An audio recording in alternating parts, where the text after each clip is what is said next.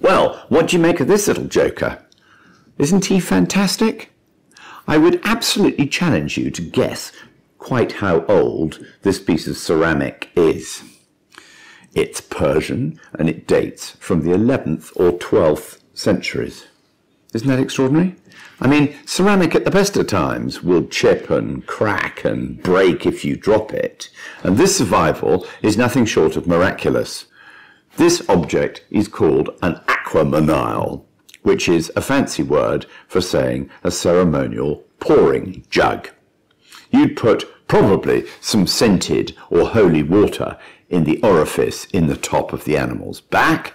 That's connected to a little handle look. You then tip it up, and this protruding bit between its ears is where the fluid would appear. You'd probably rinse your hands in a little basin before performing some holy task and set him down on the table.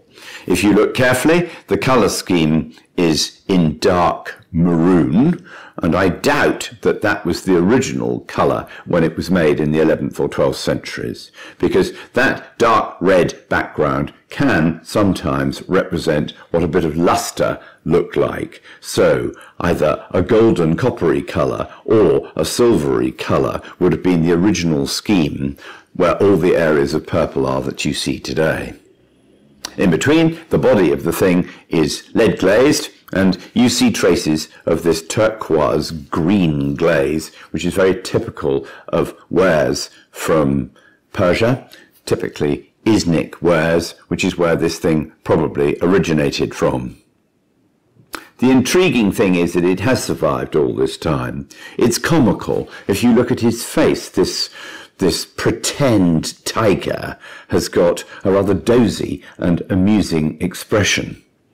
Let us hope that it will amuse somebody in the timeline auction. The estimate is five to seven thousand pounds, and quite frankly, for the survival, for its age, for its amusement value, that is not a lot of money.